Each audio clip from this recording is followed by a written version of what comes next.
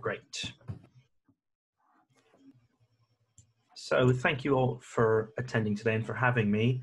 Um, before I do say anything though, I'm going to put my hands up and I have to throw up the forward-looking statement um, because we're going to be talking about a lot of the Trailhead DX announcements and pilot features. And just to make sure that you make any purchasing decisions or investment decisions based on the currently available technology and not any of the new cool stuff we're going to be talking about today. Um, but just to introduce myself, so my name is Stephan Chandler Garcia, uh, and I'm a developer evangelist at Salesforce. I've just recently joined the team. Um, prior to March, I was a technical architect um, in London for Salesforce. And prior to that, I've ran a partner for many years, um, built App Exchange solutions, as well as was a customer. So I've, I've played all, all parts of the Salesforce hat and have now joined this great team um, to help really developers get closer to our content and create really useful resources uh, to then distribute and then get to talk to user groups like you today. Um, but more importantly, thank you um, for coming and attending. Thank you for organizing the user group. I actually used to run a user group in London myself, and just hoping that people come up and expecting that people come to the meeting is really important and so great that everyone would be able to show up today. And secondly, to keep the meetings going virtually. I think is a great feat. It takes a lot to organize a meeting, and then to start bringing it online, I think is really, really cool. Um, and I'm really grateful that all of you are doing that. Now, um, from a content perspective today, we had a, little discussion last week about how deep we can get into some of the new features. Um, and we've put together a rough overview of some of the content, some of which we can, some of which we can't talk about in detail today. But really, I wanted to do just a quick overview of Trailhead DX. Um, if you were lucky enough to get up really early and attend online, or if you watched back some of the content, it'd be great to talk about some of that. I then want to go through some of the main product announcements and give you a bit more detail from some of those. Um, and then we talked about focusing on some of the communities updates. So I want to show some of the communities development updates from this last release or this release that may be hitting you next week if you don't already have it. And then some of the data privacy manager and the consent event stream stuff that I can get hands on with um, because that was one of the sessions that was mine at Trailhead DX. Now, if you've never been to Trailhead DX in person or Dreamforce in person, I can assure you that if you felt exhausted after watching a lot of the content, so did I. Um, it's a lot of information to take in in just a few hours' time. Um, but I do have to say the one plus to attending online versus in person is that you didn't have to constantly be running around trying to find which building the talk was in or end up going into the wrong talk. Um, I was talking to a global gathering yesterday and someone mentioned that it was great that if they started watching a presentation that they weren't interested in, they could just move to another one. Whereas if we were in person, it'd be very awkward to have to kind of stand up in the middle of the presentation, leave the room, and try and find something else to go and look at.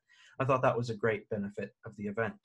Um, if you didn't attend online, um, the way that it was presented was almost like a TV channel. We had the main keynote in the morning, and then from there, you could pick either the developer, the admin, the architect, or the community and ecosystem tracks that had sessions going on throughout the day. Um, one of the highlights that I would suggest going and checking out from the event are all of the Ask the Expert panels. There was an Ask the, Ask the Expert panel in each of the tracks, um, which was a live Q&A with loads of the product managers, um, answering some of the tough questions uh, that the community has for them. As well as at two o'clock, we had the classic True to the Core session, um, which had a lot of great information and insights uh, about a lot of those new products. Now, there's one thing I did want to point out um, is if you haven't checked them out, go and check out the demos. And the online demos were meant to be um, sort of a representation of going up to a booth and getting a quick demo from someone at a booth at the conference in the expo area. And if I just pop over to that web page, um, what you'll see here is we have demos for all kinds of different products, a lot of the new dev tools and features, um, that were written and demoed directly by a lot of the product managers who are much more knowledgeable than any of us ever will be because they're their products. And so I'd suggest go in, check out those demos, bookmark them because they're not going anywhere, um, and they're great references to all of those products. Um, I was lucky enough to contribute to them, and I did the APIs and integration demo, where we looked at a lot of the change data capture functionality of the EMP API and some of the stuff that's been coming and improving in that sense. And so I'll make sure this link gets shared out afterwards, but definitely bookmark this and go and check out those demos because they're really cool and informative. Now, there are three new product announcements that I wanted to actually call out um, and give you a little bit more detail on some of them. Um, and those are the DevOps Center, one that was eagerly has been eagerly awaited for a while from what I've heard from a lot of the customer feedback. We then have Code Builder, um, which is the new web IDE that you're going to be able to use to create almost a new development experience on Salesforce. And then the last is Functions, that used to be called Evergreen. We now have Salesforce Functions officially introduced. Oh, I know we did talk about it at Dreamforce, but I think we've really got a good look at it since then. Um, that dev preview's been running for a few months now, and I think the product is really matured and we're able to show off some really cool stuff at Trailhead DX from Functions. Um, each of these topics does have a talk you can go and watch um, that's streamed live as long as you just register on the Trailhead DX website, as well as each of these will have a demo that you can go and watch as well for a bit more one-on-one detail around the products. But I'm going to go in as best I can and talk about some of the use cases and some of the benefits that I've seen, as well as some ways that they relate into the real world as well. Um, and like I said, I used to run a Salesforce practice, a small team of about 20 developers, admins, architects. Um, and one of our biggest challenge was always release management and continuous integration. Um, and there are many ways that we've all been running this ourselves.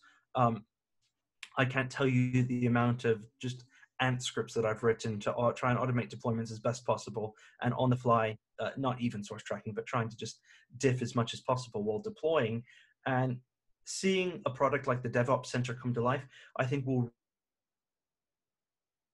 really um, almost reimagine the way that we run deployments on Salesforce by linking together our work items, bringing in some of our pro- like classic project management tools from the product perspective, and then link that in with the CI and release management tools provided by, at least in the current example we're using by GitHub.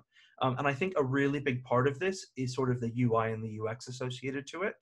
And the real the real key to this is that release management hub, um, which is where everything's going to really be management managed from uh, changes are automatically tracked and done in the development environment like your sandboxes and then just and handle some of that direct syncing and integration um, and actually pushing those comments into your git repo to then start actually managing pull requests in the salesforce ui um, go and check out the demo to actually see some of it. There's not anything that i can show you today but it's really cool. Now as a pair to this because obviously this is a product we're working on um, there's no pilot available for this yet. I actually wanted to highlight some of the work that we do as the developer evangelist team um, when it comes to release management and actually our working cycle. Um, a lot of you know that we maintain the Trailhead sample apps. And if you go to the Trailhead apps GitHub repo, you can see everything that we're currently working on.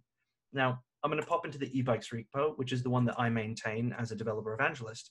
And something that we're actually working on this week is writing jest tests for all of the Lightning Web components. And so what you can see here is if you pop into the pull requests for all of the sample apps, you can see the stuff that we're working on today as a developer evangelist team.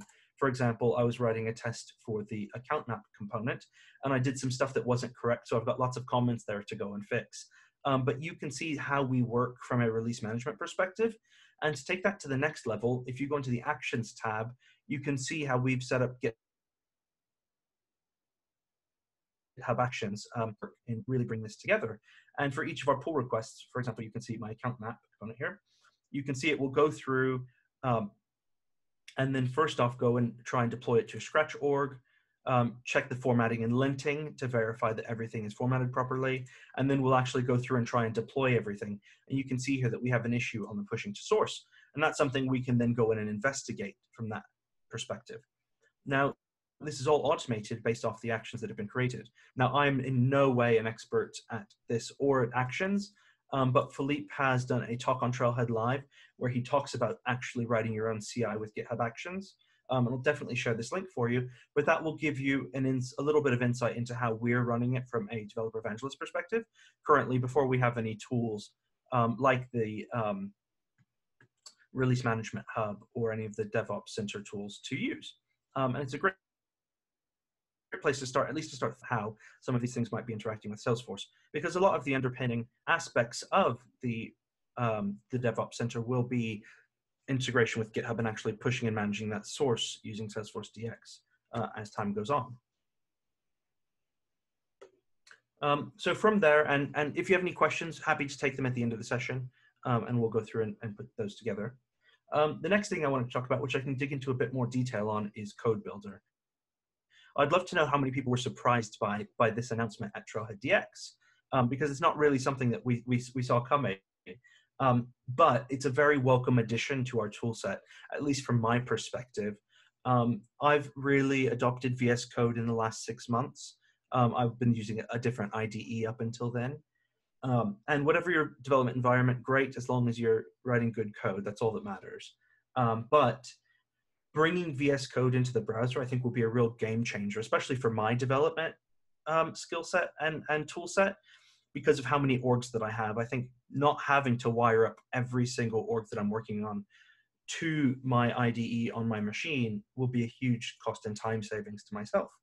Um, but what's even better about it is it's taking that same experience that we have working with VS Code on our desktop into the browser. It's bringing all of the extensions that we're becoming reliant on. It's bringing your configuration and the same tool set and plugins into that browser environment. Um, and I think what's great is it's really going to bring together everything into that unified experience. I mean, something that's new that we saw within the demo is that SOQL builder. I've got a slide on it in a minute, but that's something that will be nice and, and much nicer to use than some of the tool sets that we have already. It's worth noting that we're not getting away of the developer console, but I do see that um, the web IDE um, will be so much more beneficial, I think, to our development. And having things like all of the language servers, and I'm not sure if any of you use TabNine to add a little bit of intelligence to that, just it creates such a different and unique experience that it should really increase our productivity. Also, not to mention finally being able to write Lightning Web Components in the browser instead of having to always move off onto your machine to do it. Um, but from a larger perspective, and if we start looking at what it actually takes for a business, I don't know if any of you work with large enterprise companies, but in order to get approval for running a lot of these tasks, for using the CLI, for using plugins, for using custom plugins that aren't signed, there's a lot of red tape that you might have to cross in order to actually get something like that approved for use within a business. Whereas the currently developer console, you just open a tab and it runs in the browser. Well, with Code Builder, that's what's going to happen. You won't have to worry about having approvals to install software onto your computers in order to have a good development experience. You'll be able to do it within the browser and have a really similar experience to that. Now, um, some of the things, like I said, the highlights that are sort of advantages um, to how we're working now within the browser is obviously number one, being able to write Lightning Web components on the fly. Um, and another one is I do a lot of, of, well, sorry, I did a lot of building where I'd scaffold out a component and an admin might go into when we're talking Aura components, an admin would then go into the developer console and maybe change some text, tweak some things. And in Lightning Web Components, we don't really have that. The, the admin would then have to start learning some of the tool set. Well, with Code Builder, they can just spin it up as if it were the developer console and start making those changes. Um, obviously, SOQL query completion in the browser, um, being able to test in the browser, and then being able to retrieve the org metadata all within the browser, I think it's just going to be a huge benefit um, that will be seen very quickly as people start to adopt Code Builder. Um, and the same thing, just to drive on top of that, um, there's really good Git integration into the Web IDE. Um, you can once again use whatever CI/CD pipeline you're using, whether that be GitHub Actions, Jenkins, or something else within your organization, um, and just sort of all of the source track, source checking, conflict detection that comes along with our IDE generally. Having that available in the browser is going to be game changing. Um, and yeah, I just, I don't know what everyone else's impressions are. I've been really excited to start using it. Uh, um, we've had sort of limit really getting tested out, but I think I've pushed it to its cap- its max really at the moment, and really impressed with the results from actually starting to develop and write tools within Salesforce inside of Code Builder. Um, there is currently registration. Um, oh, actually, sorry. For functions, there's registration for Code Builder Pilot. Um, if you're an ISV, talk to your partner account manager if you're a partner, talk to your account manager if you're a customer, see if they can get you into that pilot. But we're currently running it closed at the moment with a, a look at having an open pilot in the fall. Um, so keep an eye out for that. I'm sure it'll be all over Twitter, all over Slack once that starts coming. um, and is available. Now, the last of the three that I'd like to just touch on, um, obviously Salesforce functions aren't necessarily new. We announced it at Dreamforce, um, but as I said, we've got to take a really good look at that functionality um, at Trailhead DX. I can say I've had um, about three or four months of actually starting to use functions. I'm not sure if any of you are in the developer preview, but that we do have a sign up form for. I can go ahead and share that out after the session. Um, but functions are really cool.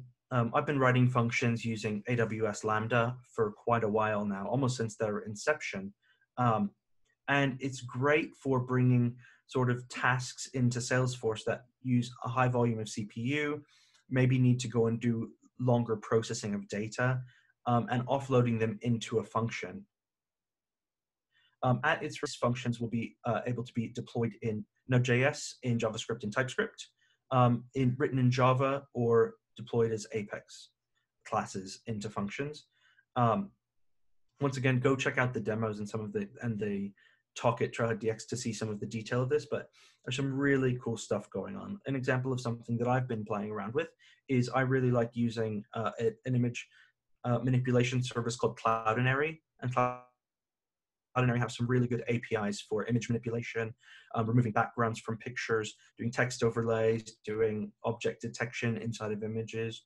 Um, and that's a great task that I can then write against a function, call my function from Apex, and then push that activity to do all of the file manipulation outside of Salesforce, and then just fire back a URL where that image will then be hosted and write that back to the records so that I'm not having to worry about manipulating that file on platform or keeping that file on platform. I can just offload it from that function.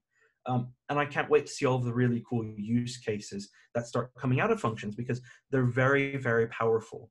And by offloading that capability, um, it's going to create a huge advantage. Um, I ran a Trailhead Live session about three weeks ago on integrating external data into Lightning Web Components. And in that session, um, I needed to take an endpoint that had just a flat JSON file that was about seven megabytes large. I wanted to bring that into Salesforce, calculate the distance from a geolocation, and then display like the nearest three schools within Dreamhouse um, in the component. But that JSON file breaks our, our file size limits within Apex. And so I wasn't able to just go out and get that and start playing around with that data. I actually had to write an API myself where I wrote an API uh, in Go that then did all of the data manipulation and then just fed back to Salesforce those three nearest schools. Well, with functions, you don't have to worry about that. You can run the call out from the function, get that data, manipulate it, and feed it back into Salesforce without having to jump off platform to complete that action. Uh, and I think that all of those little tiny use cases are going to make a really big difference when it comes to developing within Salesforce in the future as that product starts to grow and evolve.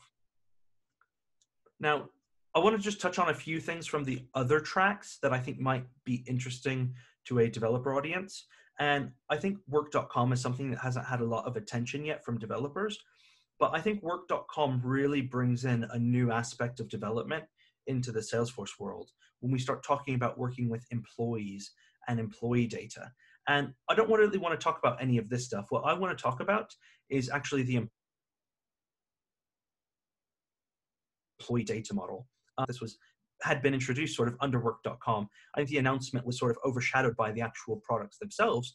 But every Salesforce org is going to have introduced to it the employee object and related objects to that employee to allow you to much easier, easier um, build apps around employee engagement and really focus on that employee experience from a Salesforce perspective and work on those types of activities.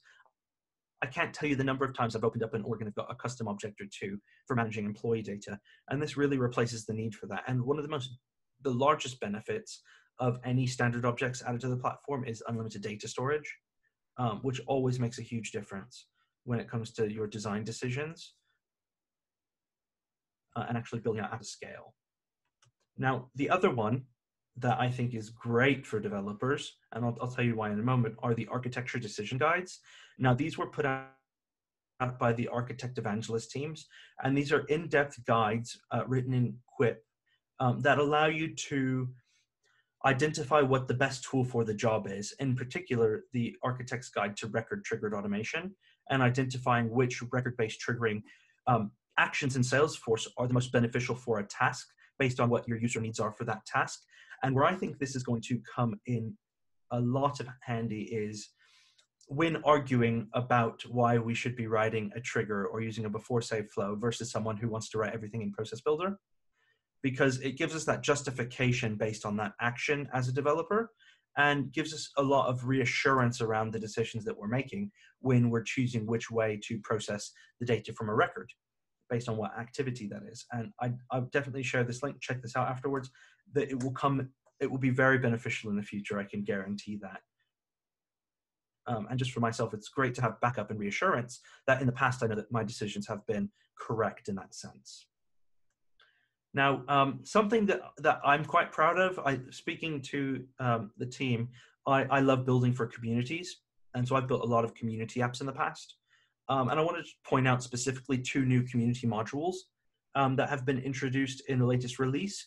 And I wanted to show you a, a small technical demo on how I'm using them currently. And they may seem small, but they're going to really save time when it comes to actually writing Apex um, to get some of this information.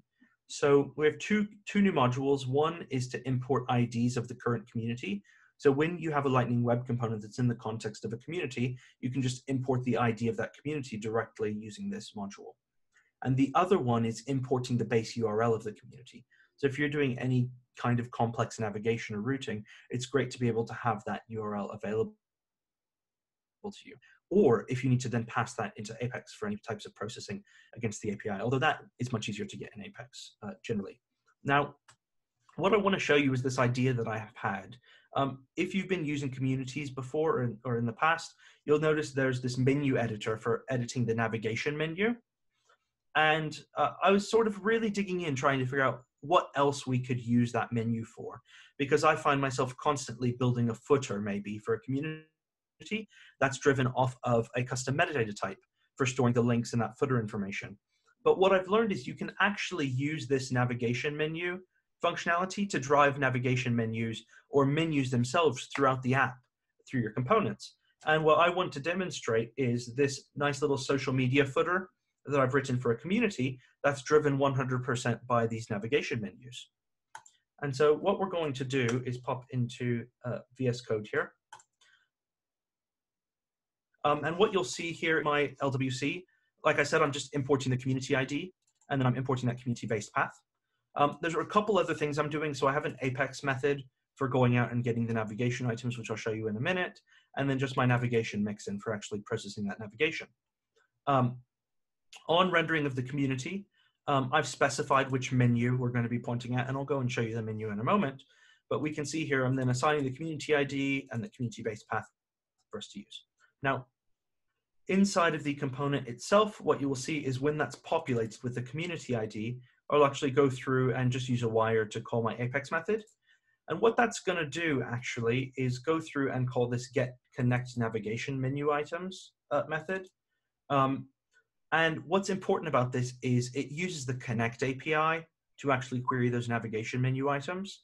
Um, you can get direct access to those uh, objects themselves because they are stored as objects, but they don't have the image file associated to the navigation item uh, within the objects.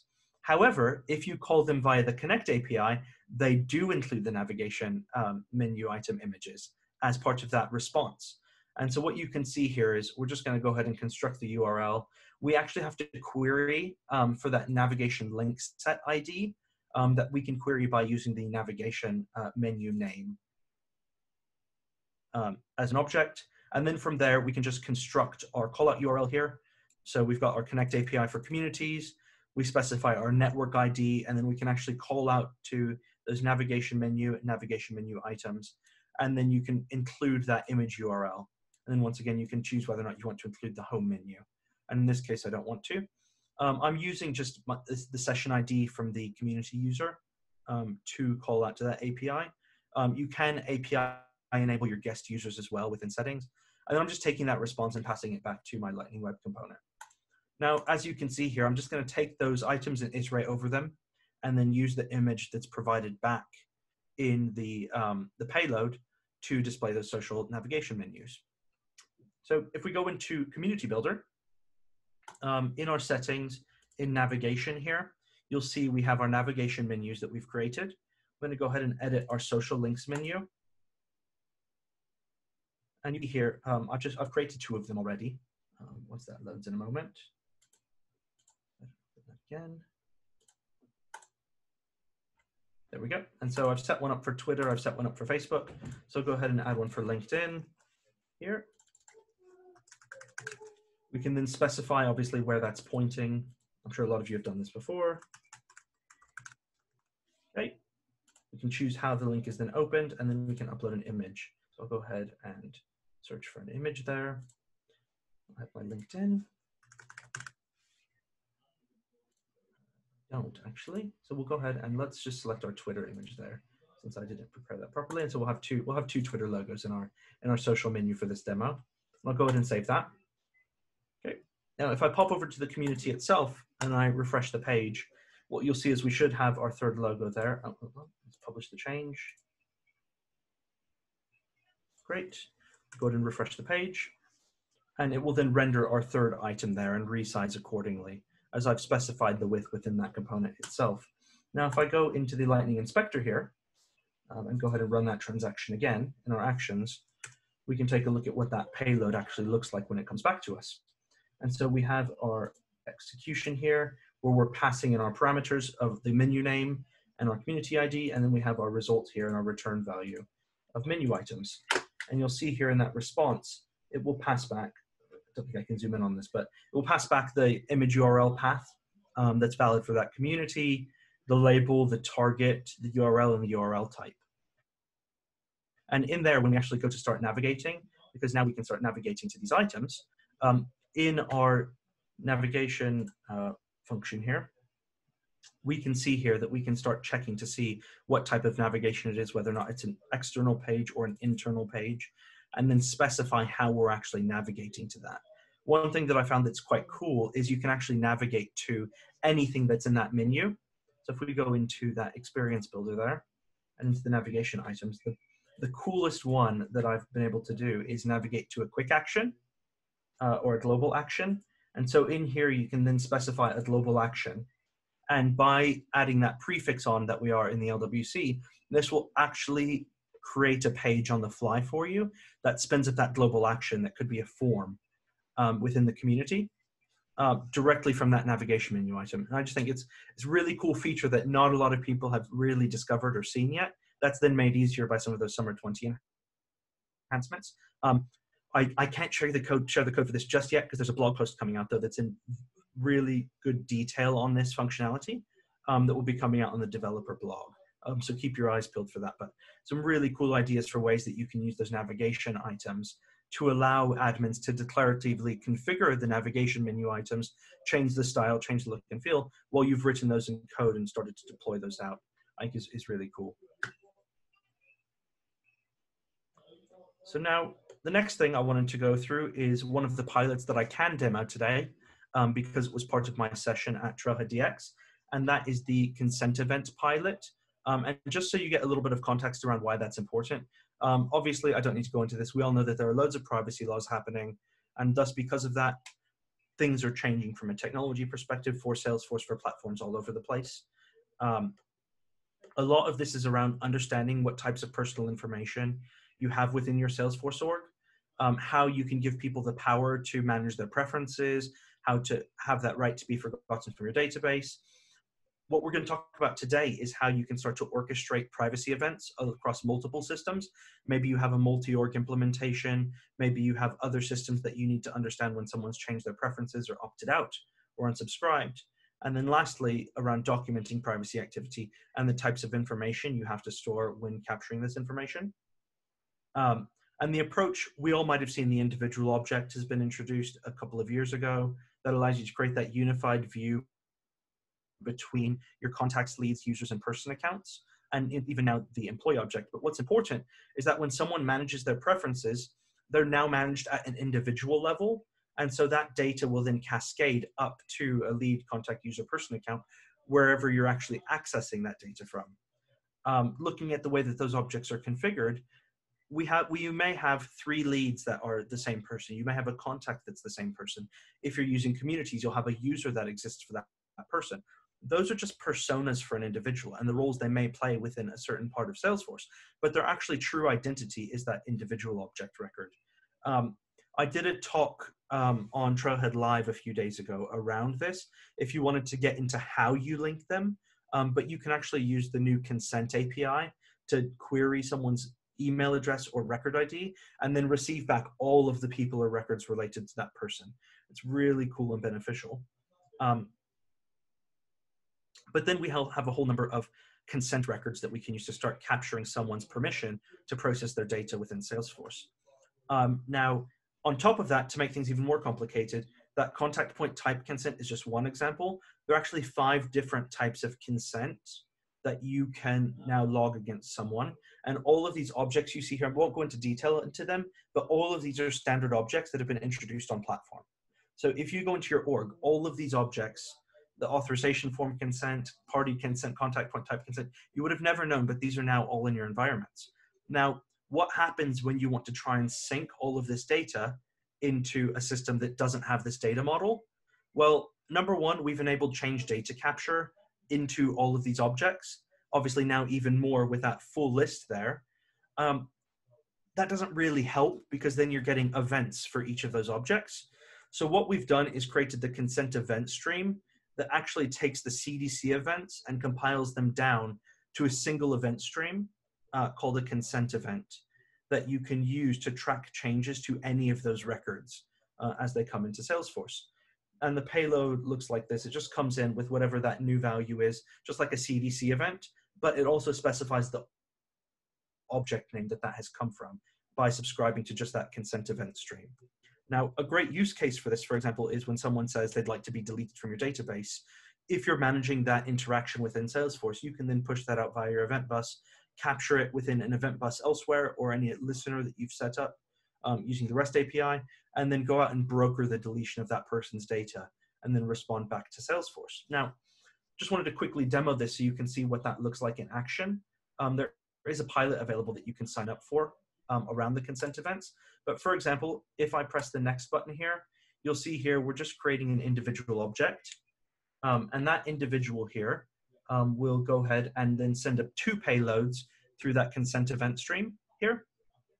And, and there you'll see that we have an event here for the contact record, and then we have an event here for the individual that's been captured. And then we can see what's been changed there.